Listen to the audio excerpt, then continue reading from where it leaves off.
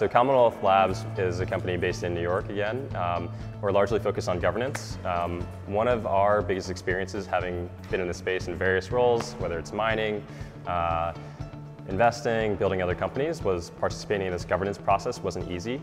And so a few things that we kind of found, all the conversation was non-persistent. It happened on Twitter, on Reddit, on Discord, which is great for you know volume and uh, overall participation but it kind of disaggregates everything and kind of makes it happen in different places. Um, the other thing is any kind of on-chain vote or formalization of uh, any topic or discussion is pretty tough. Um, so we decided to, to bring that together into uh, basically a full stack solution.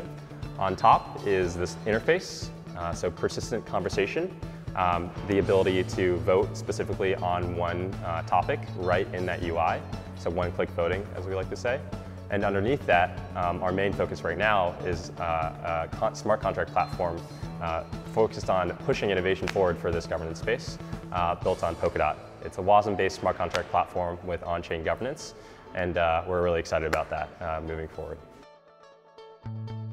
Edgeware is our main focus at Commonwealth Labs right now, and what we're building is really a few things, or can be summed up in one thing. Uh, it's a cutting edge smart contract platform that's um, community governed and built on Polkadot. So to unpack that a little farther, um, it's dev friendly, essentially, so you can build smart contracts that all compile down to, to WASM. So you can build in Rust, um, assembly script, and um, C, C++, whatever you're comfortable with. Um, the second core feature is basically that it's community governed, and to bootstrap that, we're doing something called the lock drop, uh, where we're giving away 90% of tokens to um, ETH holders. All they have to do is lock their token, um, uh, time lock it, and they get each Edgeware tokens um, and their ETH back. Um, additionally, they can also vote once they have their token on initial distributions or further distributions of tokens through an on-chain treasury to guide the development of this network. All this happens on-chain, so you have a transparent roadmap. And last, um, and I think most uh, pertinent, is like as basically the fact that we're built on Substrate. So we can directly integrate as the first parachain, first smart contract platform into Polkadot so we can benefit from that uh, chain security. Um, so we're pretty excited about uh, Edgeware. Next year is very exciting for us. and the next three months, we're basically um, waiting until uh, the lock drop date. So that lock drop will happen June 1st. Until then, we have to audit all of our um, lock drop smart contracts, the modules that we're building um, into uh, sub Edgeware itself, and then also build the community of um, interested participants. We already have 1,500, but we'd love to you know, expand that. Um, Post-launch, we'd like a few things to happen. So Edgeware is community governed, and so we want a few upgrades to happen that are related to the core scalability and also core governance of Edgeware. So we're building some stuff internally for um, anonymous voting. We'd love that to be integrated a little further on.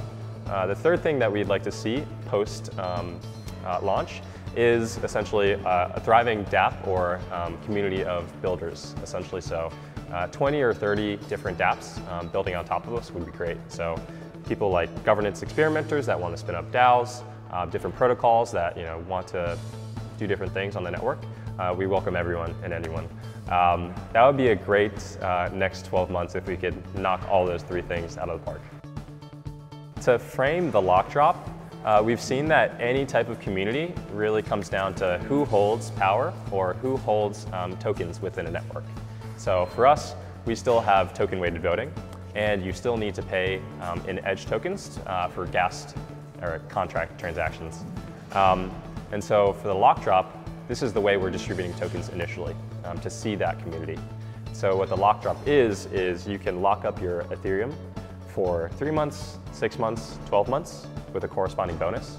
You get your tokens, uh, tokens right away at network launch, and you also get your Ethereum back. Um, actually, to, to further widen um, uh, participation in the network, we're doing this thing uh, which we informally call signals.